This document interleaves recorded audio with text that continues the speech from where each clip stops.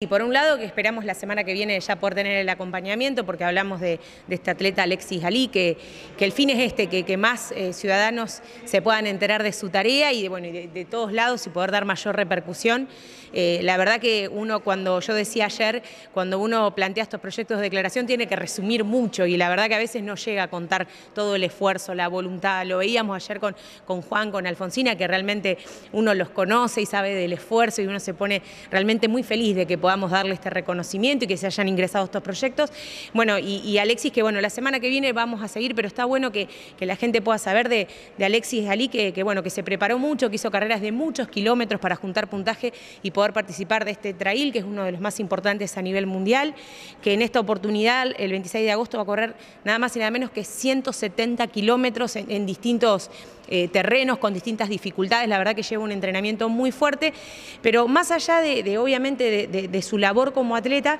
tiene que ver con que cada uno de esos kilómetros cuenta o va a contar o necesita de la donación de muchos para poder ayudar a la Fundación Flexer, fundación que tiene eh, el fin de ayudar a niños, niñas, jóvenes y adolescentes a poder eh, acceder a un tratamiento contra el cáncer. Así que es importante y muy loable ¿no? la tarea, más allá de, su gran esfuerzo como atleta, necesitar y de esta manera también, y un poco lo hablábamos con él, llegar a más personas que puedan colaborar, que puedan saber de este fin solidario que está haciendo. Él nos contaba su motivación, eh, desde una niña que después de superar el cáncer con su padre buscaba manera de, recaudar fondos y así poder darle un, tratamiento, una pomada que tenía que ver con el tratamiento del dolor a otras personas. Y bueno, esto en parte lo motiva a él, por ahí lo estoy contando con mis palabras, le pido disculpas a Alexis si hay algún error en la descripción. Pero bueno, la semana que viene esperemos el acompañamiento del cuerpo de concejales para de esta manera reconocer a este representante de la ciudad que va a estar corriendo, en realidad la carrera es del 21 al 28 de agosto, está viajando en esos días y poder reconocerlo y apoyarlo y que esto sirva para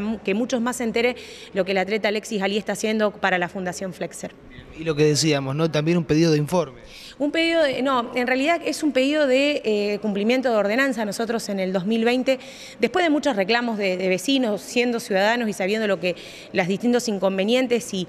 las distintas dudas que hay con respecto al sistema cloacal de la ciudad, cuando uno va a, los distintos barrios, cuando uno recorre, cuando uno va hacia todo lo que es a reconocer el sistema cloacal de la ciudad, siempre nos preguntamos esto, cómo están las reparaciones, el mantenimiento, la planificación, eh, eh, la capacidad cloacal del sistema cloacal de la ciudad para Villa Constitución. En ese momento nosotros siempre encontrábamos en el Consejo distintas ah, minutas, resoluciones, y bueno, y, como acá en el Consejo entran distintos eh, informes con respecto al agua, contra las cámaras de seguridad, pudimos ver en otras localidades que a la misma, de la misma manera entraban informes sobre el sistema cloacal. Después de varias audiencias y en un tiempo pudimos recibir el apoyo y aprobar. Hoy por ordenanza, que lo repito y está bueno que los ciudadanos puedan saber, está establecido. Nosotros lo habíamos planteado de manera semestral, luego de hablado con el área nos decían que por cómo llevaban adelante las obras debía ser anual, pero lo importante es que hoy hay una ordenanza que fue aprobada, que fue de nuestra autoría en el 2020, en la cual consta de que de manera anual el área debe ingresar un informe de mantenimiento, reparaciones, de un informe general del sistema cloacal y todo lo que el área considere. De esta manera que permite que no solo el Consejo pueda tener información anual de lo que va pasando, de cómo se mantiene, de cuánto, sino también que los ciudadanos lo tengan. Entonces, creo que esto es importante. De hecho, hace unas sesiones anteriores teníamos vecinos que justamente nos preguntaban sobre el sistema cloacal. Entendemos que en la pandemia, luego sabemos eh, con mucha angustia lo que, bueno, que eh, el fallecimiento del funcionario de turno, que fue muy lamentable para todos, y bueno, y obviamente entendimos que el cumplimiento de esa ordenanza se retrasaba por las distintas situaciones. Pero bueno, hoy pasado un tiempo nos parece importante que se cumpla con este informe anual para de esta manera poder hacer un seguimiento y poder tener de manera escrita, nosotros, yo recordaba eh, cuando presentamos esa ordenanza, en aquel momento el funcionario, a, través de los medios y hablando de su tarea, justamente contaba que aproximadamente del 2009 no se contaba realmente con un mantenimiento del sistema cloacal. Y esa fue una de las tantas razones, más allá de los reclamos de los vecinos, de lo que nosotros vamos viendo, de cuando uno se acerca y ve el estado del sistema cloacal,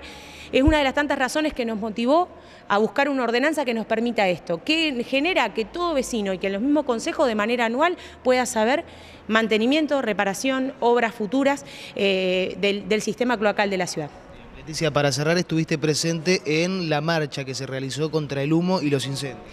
La verdad que nos pareció importante estar en que todo en este reclamo que todos hacemos, sabemos que desde el Consejo hemos apoyado y hemos eh, apoyado eh, proyectos eh, particulares y también distintos reclamos y vamos a seguir estando apoyando este reclamo. Y, nos pareció importante estar porque fue un reclamo de la ciudadanía, creo que todos los vecinos, me pasó también y, muchos vecinos, la verdad que es, terrible